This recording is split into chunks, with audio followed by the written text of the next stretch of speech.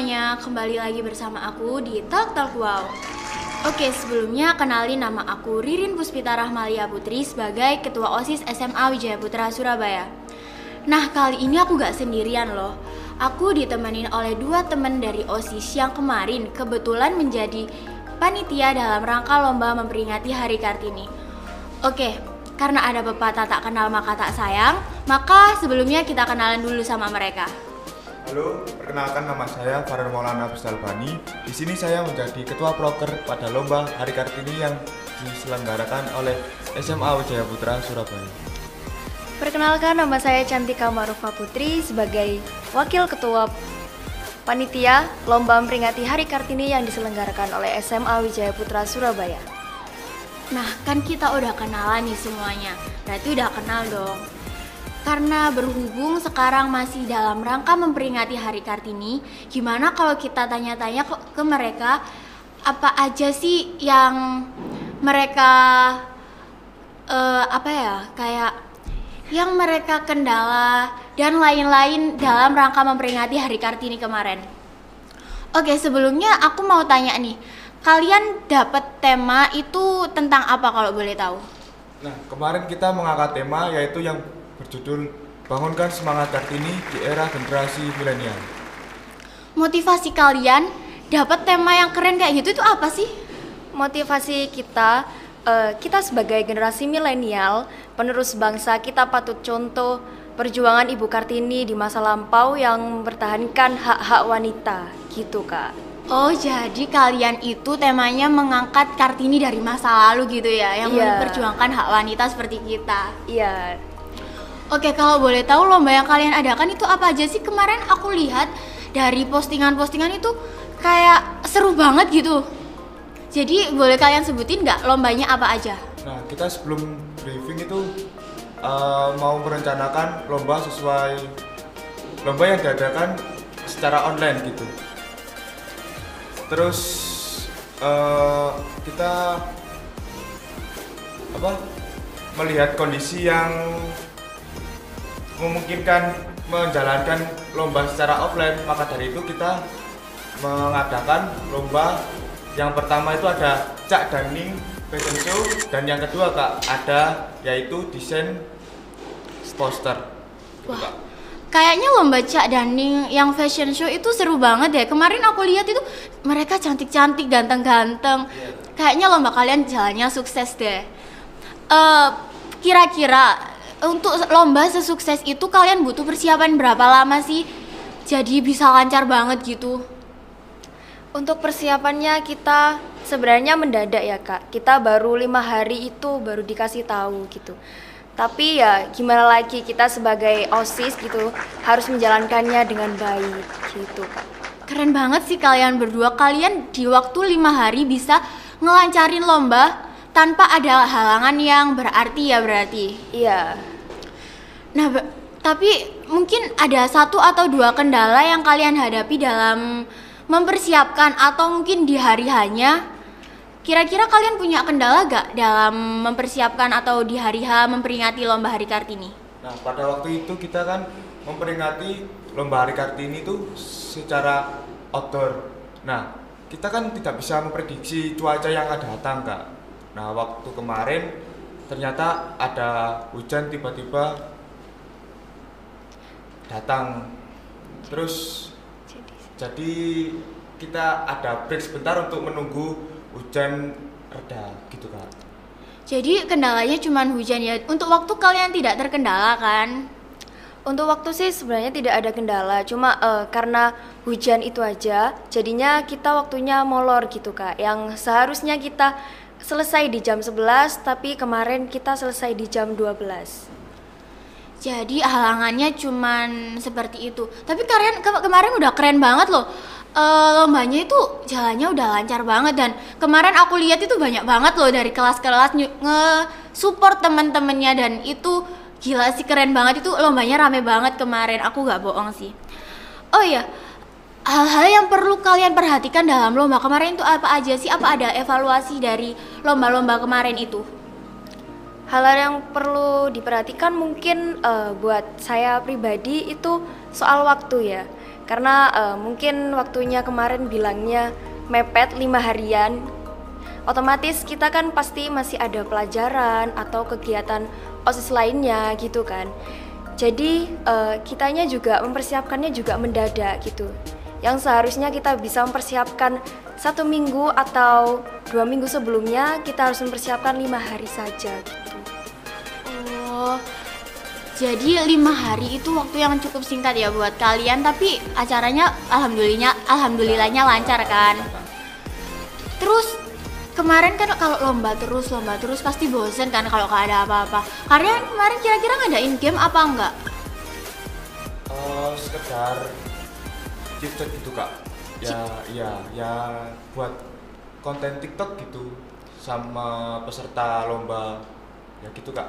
Mungkin uh, biasanya disebut ice breaking ya kak ya. Buat refreshing gitu di sela-sela uh, penjurian setelah penjurian kita ice breaking gitu kayak merefresh otak-otaknya teman-teman gitu biar bisa semangat lagi gitu. Biar bisa semangat lagi. Kali kayaknya kalian juga ini yang semangat sih kalau nggak semangat nggak mungkin pesertanya juga. Kalau kaliannya dari kalian sendiri dari panitia ini kan pasti semangat. Kalau panitianya nggak semangat nggak mungkin pesertanya juga semangat dong. Pasti, pasti dari dong. panitianya dulu ya kan? Iya pasti. Uh, iya. Untuk hadiah para pemenang kalian kemarin ngasih apa sih kalau boleh tahu?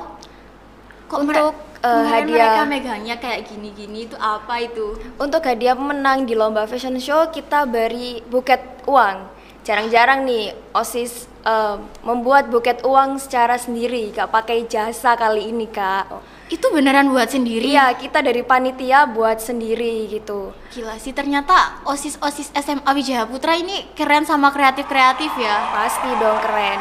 Selain ada buket juga, uh, kita juga memberikan sertifikat untuk lomba posternya kita berikan uang pembinaan dan juga sertifikat kak. Mungkin yang bikin wow hadiahnya buket dan itu buketnya secara spesial kita buat sendiri dari panitianya. Kemarin aku juga sempat lihat buket bunganya sih buket bunganya eh buket uangnya maksud aku itu kayak bagus banget. Aku sendiri aja belum bisa buat buket kayak gitu. Kira-kira itu buat buketnya berapa lama sih? Uh, sebenarnya kalau buat buketnya itu secara mendadak uh, kita buat buketnya itu tiga hamin tiga sebelum acara itu kita buat gitu hamin tiga tapi buketnya bisa sebagus itu ya? Ya pasti dong kak. Kita kan uh, eh, osis osis yang kreatif gitu ya. Iya kreatif. Kreatif banget kok.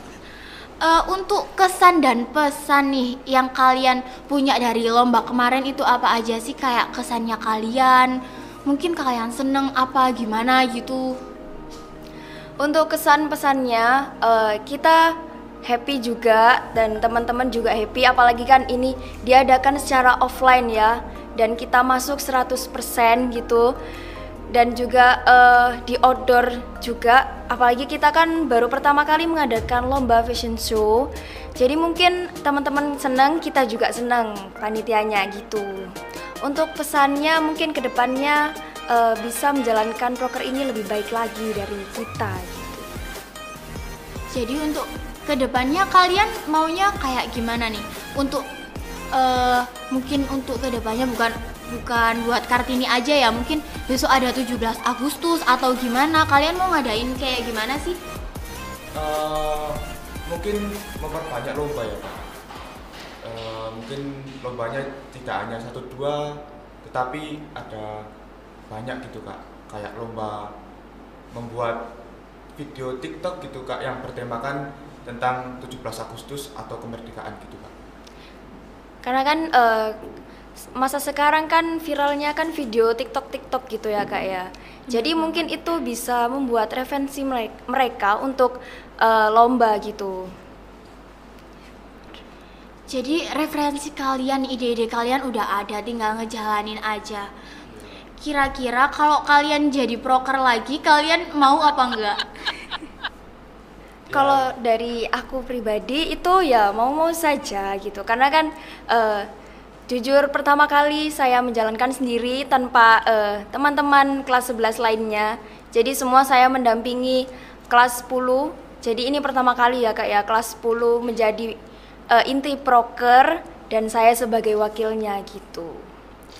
Kalau dari saya ya kak, saya ya bersiap juga kak soalnya kan sebagai pembelajaran saya untuk ke depannya memegang proker tanpa adanya kakak kelas Bener banget. Nah, kalian kalau acara lancar itu kan pasti ada eh, pembinaan dari guru. Kal- Kalian kemarin jalan sendiri atau emang ada guru yang mendampingi kalian kayak mengatur jalannya acara gitu? Eh, sebenarnya kita juga ada pembina OSIS. Eh, kita juga dibimbing oleh pembina OSIS juga. Mungkin kita hanya dibimbing eh, kalian harus menjalankan lomba memperingati Hari Kartini gitu aja sih. Tapi setelahnya kita eh, inisiatif sendiri kayak tema, terus untuk hadiah, lombanya juga itu kita inisiatif sendiri sih kak.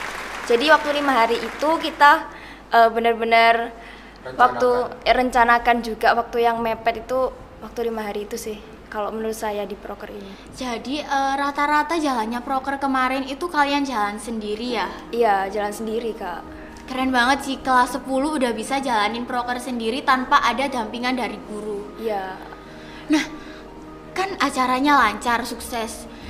Itu tips dan triknya apa aja sih biar bisa acaranya lancar kayak kemarin? untuk tipsnya mungkin eh, kita eh, berkomunikasi iya ya, selalu berkomunikasi itu wajib dan penting banget karena komunikasi adalah nomor satu untuk jalannya acara gitu. Kalau kita nggak komunikasi sama anggotanya, kita kan pasti kayak eh, miskom gitu ya. Kayak jalannya acara itu nggak mungkin berhasil gitu. Bener banget sih. Kalian kemarin sempat terjadinya miskom atau enggak atau mungkin kayak sempat bertengkar gitu karena perbedaan pendapat atau gimana? Eh, menurut saya tidak sih kak. Karena kita sebelum menyampaikan pendapat itu kayak eh, menyepakati gitu kak. Menyepakati. Kalau sudah sepakat berarti pendapat tersebut yang digunakan buat itu tadi jalannya tadi Berarti eh, kendala kalian cuman emang benar-benar di cuaca yang karena tadi di outdoor itu kan, Iya, bukan benar. dari dalam proker kalian itu tadi. Alhamdulillahnya ya kak ya kita nggak ada kendala sama sekali. gitu. Alhamdulillah. Untuk evaluasi nih dari kegiatan kalian itu apa aja sih yang perlu diperbaiki buat ke depannya supaya nggak terjadi kayak gitu lagi dan eh, ke depannya itu biar lancar, biar ya aman-aman kayak cuaca emang nggak bisa diprediksi mungkin evaluasinya dari kalian itu apa sih? Mungkin evaluasinya karena waktu ya kemarin eh, sebenarnya kita waktunya itu eh, persiapan setup lokasi itu eh, mepet dengan waktu itu pembukaan kak. Jadinya kita harus cepet-cepet gitu. Apalagi kita kemarin untuk tim panitianya itu sedikit gitu ya. Karena kan proker internal ya kak ya. Jadinya nggak Iya. perlu banyak-banyak gitu. Dan ternyata OS OSIS SMA Wijaya Putra itu baik-baik semua. Jadi meskipun yang nggak ikut proker atau ikut proker itu tetap membantu kak. Aku salutnya tuh dari situ sih kak. Keren ya kalian puasa-puasa bisa ngerjakan proker Kartini tanpa ada kendala dan pastinya masih puasa dong ya. Masih dong kak. Eh, Oke, kayaknya udah cukup sampai di sini bincang-bincang kita. Makasih udah mau nemenin aku dan untuk teman-teman yang lihat jangan lupa like, komen dan subscribe. Dan sampai jumpa di pertemuan selanjutnya. Bye bye. Bye bye.